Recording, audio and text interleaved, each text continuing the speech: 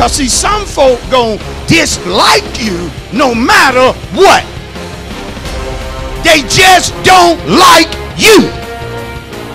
Now, if somebody else was where you were, they'd be happy for them, but they cannot be happy for you.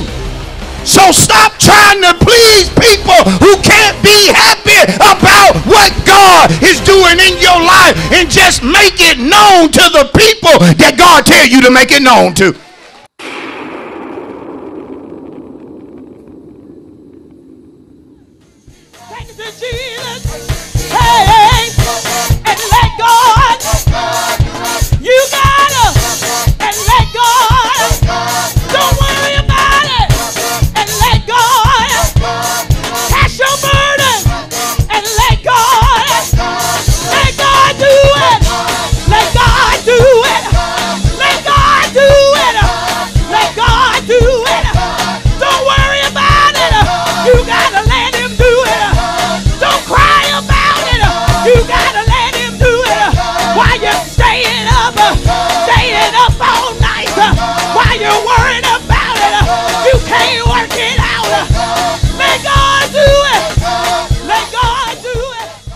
105, verse 1.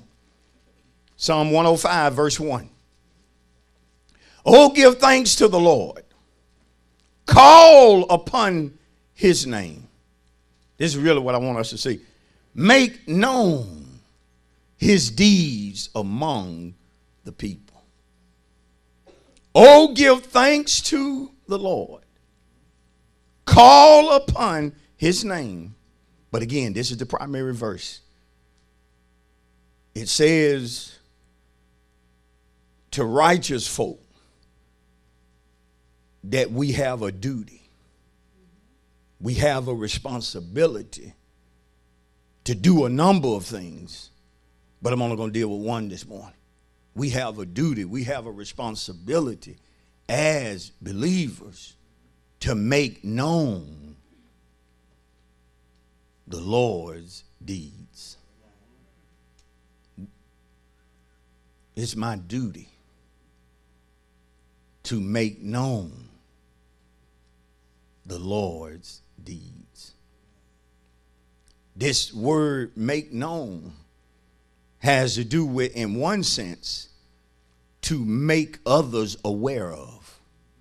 I want to make it known. It's not known to everyone. I want to make it known. It also has to do with to proclamate or to publicize something. I want to I want to spread something. I want to make something known to people. But it also has to do with to bring forth revelation or to reveal something. See, to a lot of people, certain things are hid.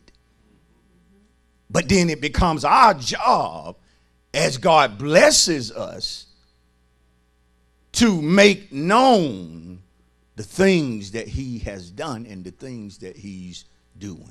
We have to make it known. Based upon that, look at somebody and say the subject this morning. Make known the Lord's deeds. Look at somebody else and say, Make known the Lord's deeds.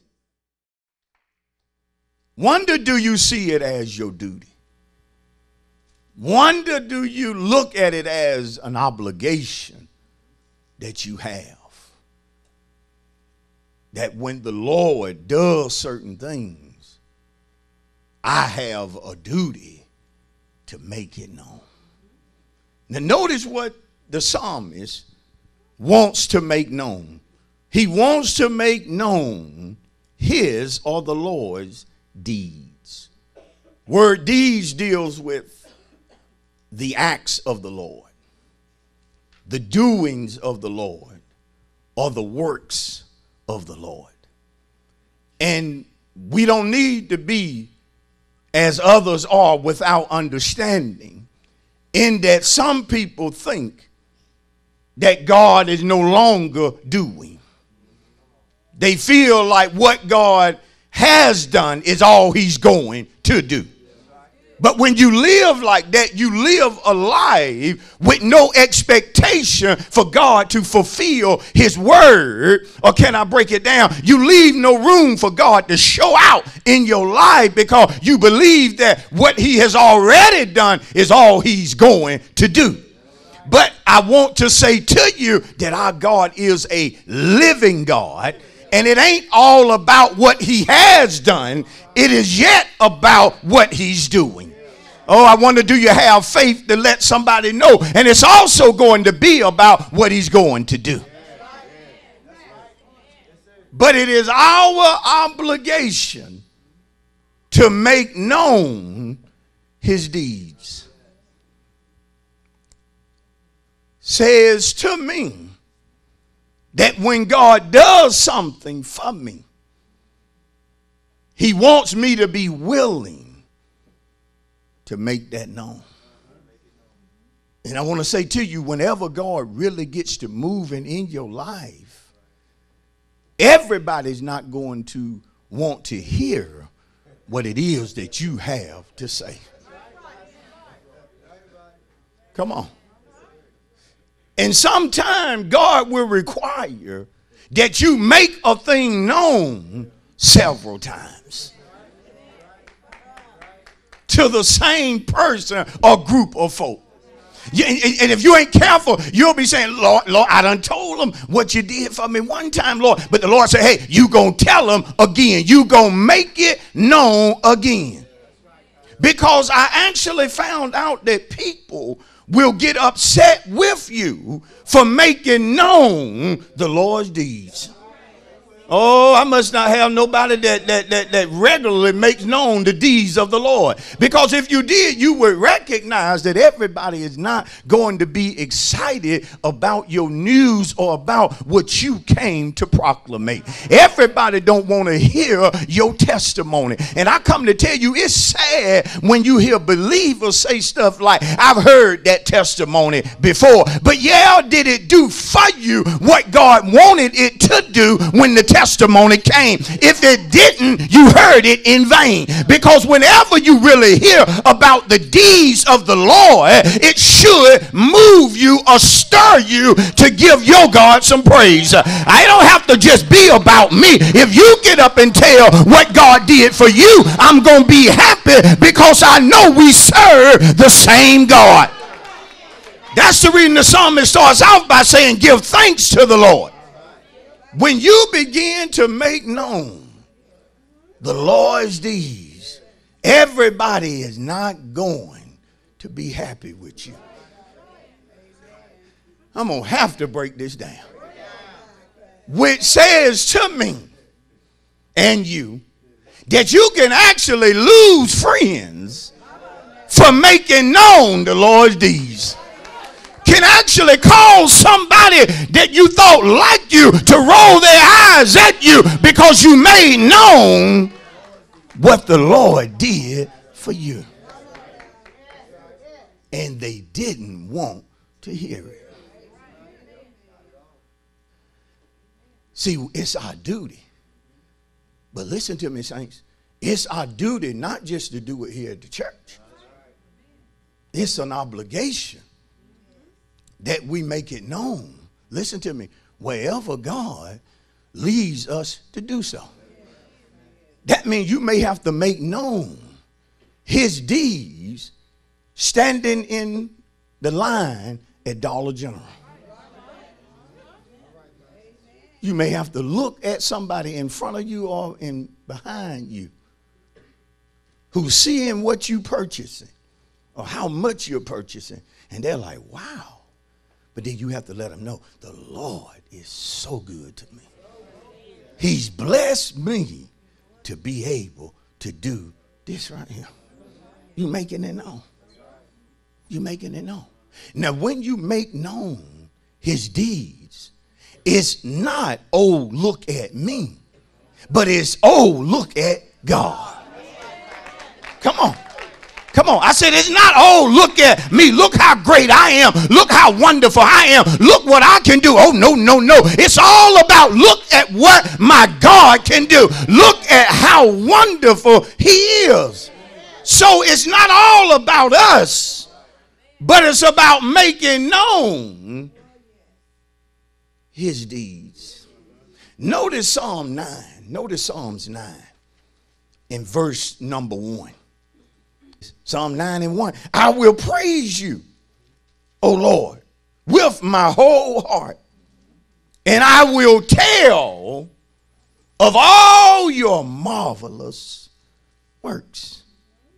I will praise you, O Lord, with my whole heart.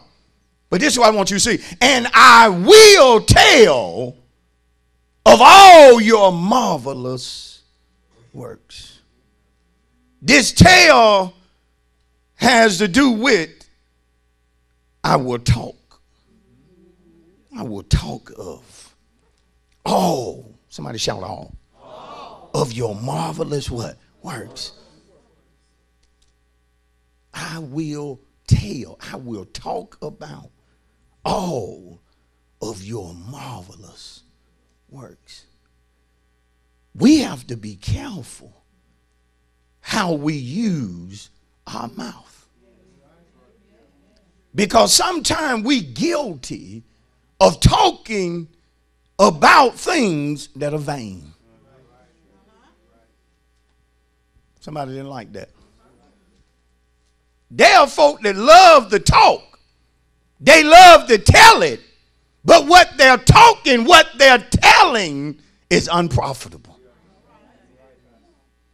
It's not anything that's going to help somebody else. It's empty talk. But the psalmist is going to be purposeful in how he uses his mouth. Because he's going to use his mouth to tell of the marvelous works or deeds of his God. See, we have to be careful that we don't get caught talking, but what we talking about, we shouldn't even be in the conversation. Now, one reason God wants us to talk, or He wants us to tell it, is because of the unsaved or the unredeemed. He wants us to make known his deeds so that those who are not saved,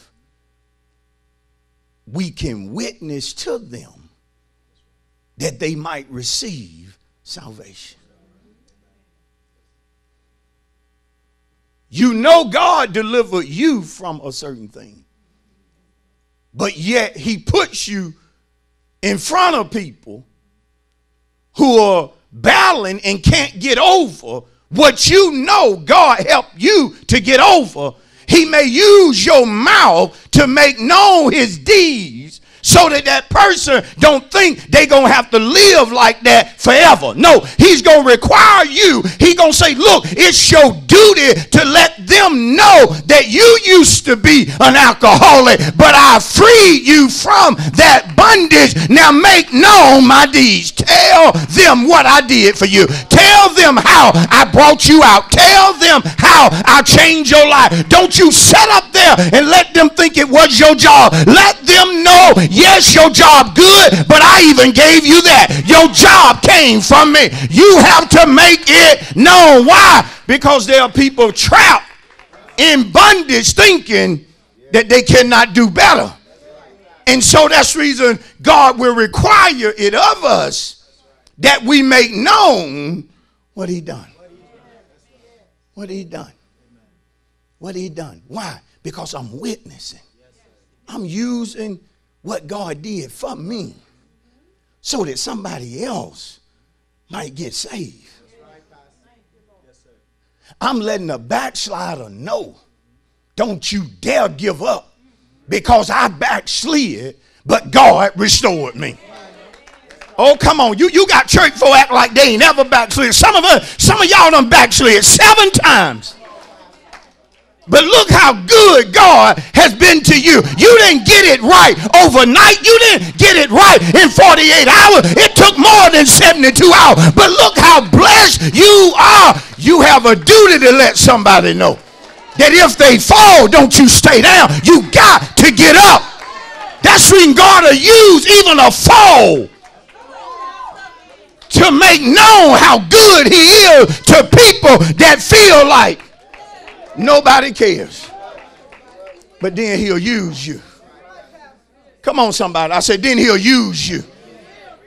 That's when you're around your family, you can't afford just to be talking what everybody else talking. At times you can. But then there'll come a time God don't want you in that conversation. He wants you over here talking about what he's able to do. Come on. Can I preach to my young people? Young folk, y'all got to realize if you truly saved, you got to make known God's deeds in the schoolhouse and on the college campus. You got to let folk know the same way God keeping you, he can keep them. Come on. You ain't going to be like everybody. You ain't going to talk what everybody else talking. Even certain slang sayings that folks say. We can't get so caught up that we sound just like the world. Our talk got to be different. Oh, preach that thing, Pastor. And sometimes you got to recognize God has strategically placed you in a certain place so that you can talk about what He did. You ain't on that job just to be there, sister. You to talk about the goodness of your God. You ain't just there, brother, just to be there. But you're there to make known God's deeds. Do you know there are people strung out on drugs who think nobody who is as hooked as they are can ever be delivered? But then God will say to you, who was strung out, hey, time for you to talk. And some of us be like, Lord, I want these folk to know that I was doing such and such and such and such. You ain't ready. You ain't ready to fulfill your obligation. There are men that as long as you could tell the difference between a boy and a girl, you start chasing them girls. Oh, y'all didn't catch that. I said, soon as you knew the difference, because there was a time I didn't know a difference. I play with a girl like she's a boy. Push her down, tackle her. We playing tackle football. We were young with girls. Hitting them too. And sometimes they were scoring touchdowns on you because they were faster and stronger. Two years go by. Same girl you were tackling, ready to play football, but now you look at her like, when you grow them?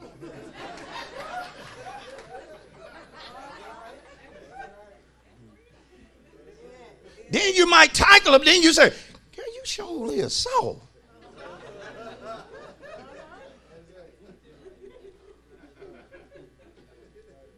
But see, there are men who still think they the dog and the dog got to chase the cat. See, but then God gonna say to you, tell it. Tell them that you faithful. Tell them that you happy. Tell them that you in love. Tell them that you blessed. Tell them that you happy.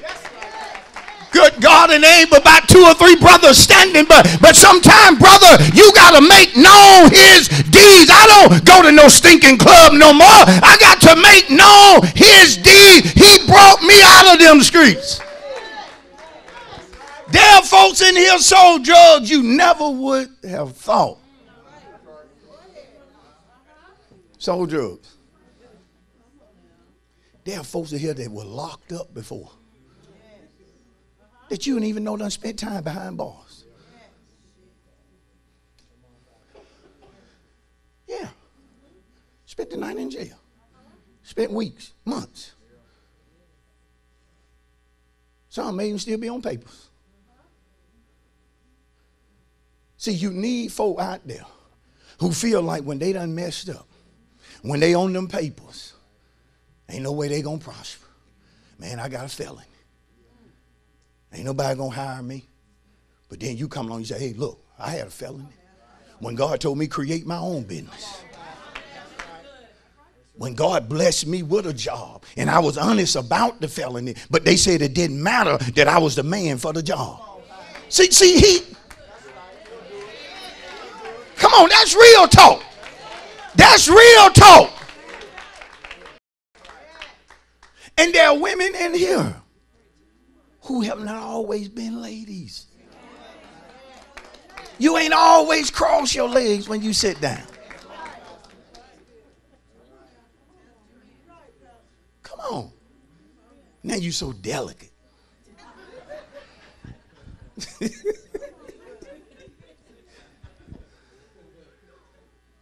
With your expensive perfume A perfume. Some of us don't know the difference, but see, you done got so sedated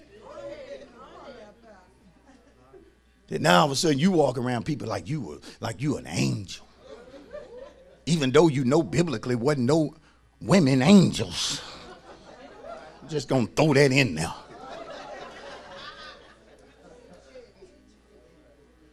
Then you got people that are broke. They in poverty. God will tell you, tell them what I did for you. Tell them how I bless you with that with, with that nice house. You stand up there, Lord, these folk, I don't really want nobody to know about it. What?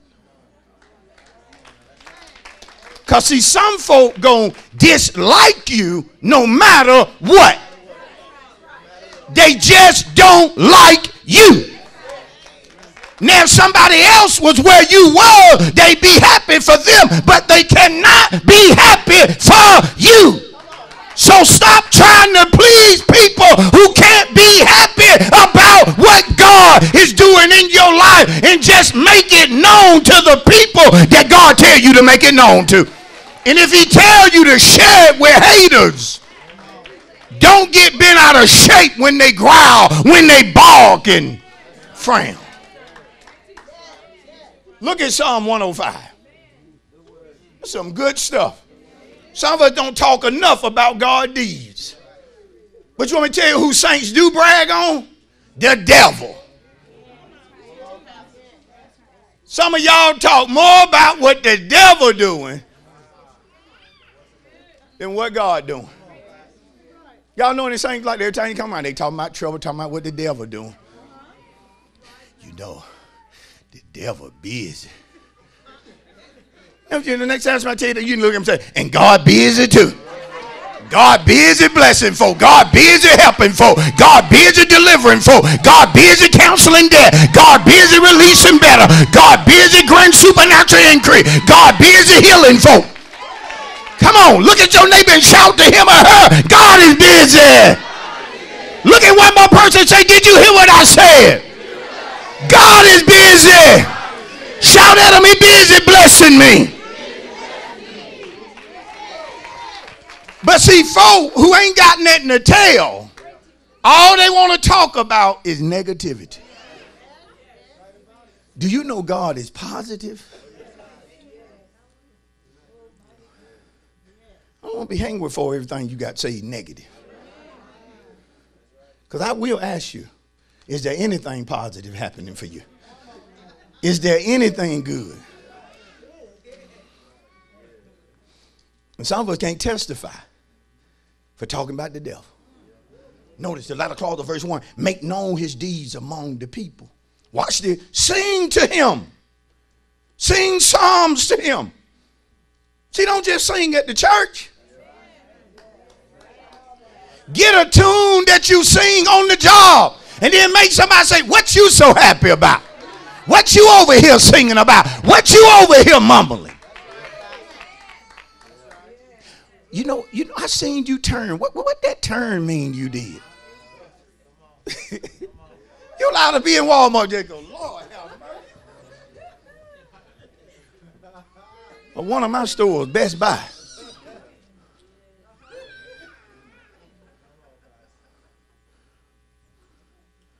When I go in Best Buy, I get happy. And so you need to be happy so that folk may just ask you, What you so happy about? They do it if you frown.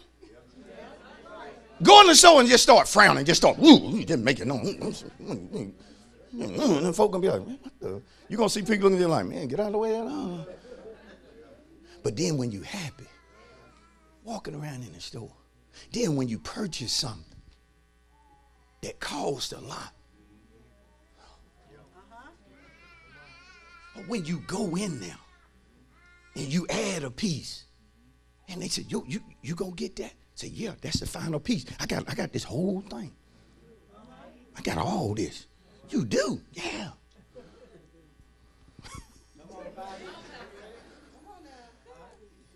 By the way, some of y'all looking at me, you ain't ready for God to bless you. See, one, one, one preacher asked a famous question Can you stand to be blessed? Because, see, blessed folk got to talk about the one who blessed them.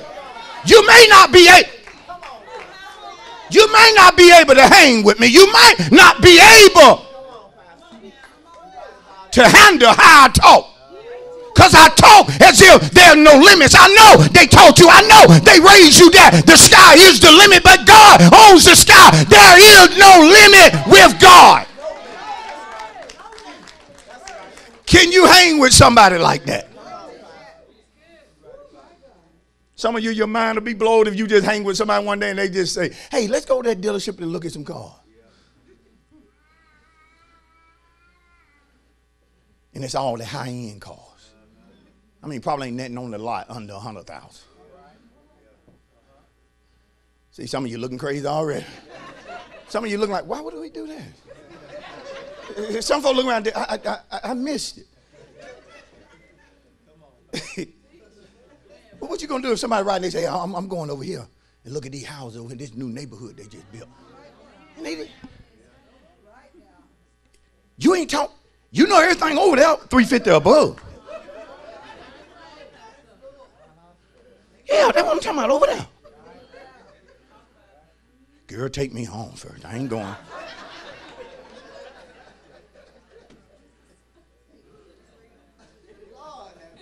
But see, I gotta make known. I gotta tell it. I gotta talk about it. I got to tell you that you can wonder shop in one season, and then God will say, okay, the season for looking is over. Now it's time to get. Now it's time to purchase. But see, he wants you to tell. Thank you for watching A Word for Deliverance with Pastor Leonard Cochran of A Place of Refuge, Newnan. A Place of Refuge is located at 10 Fisher Alley in the city of Newnan, Georgia.